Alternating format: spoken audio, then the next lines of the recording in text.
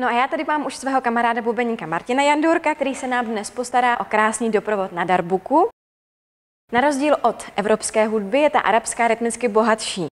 Když hrajeme na darbuku, tak rozlišujeme dva základní údery, dům, to je basový úder, a tek, to je vysoký.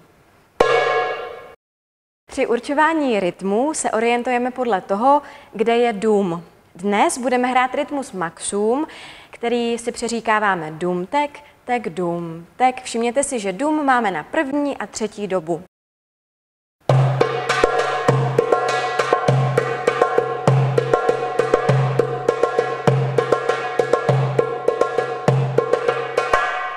Maxum je v podstatě nejpoužívanější arabský rytmus.